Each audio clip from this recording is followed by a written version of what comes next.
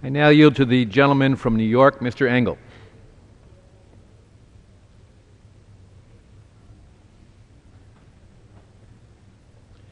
And they shall make distinct lists of all persons voted for as president, and of all persons voted for as vice president, and of the number of votes for each, which lists they shall sign and certify, and transmit sealed to the seat of the government of the United States, directed to the President of the Senate.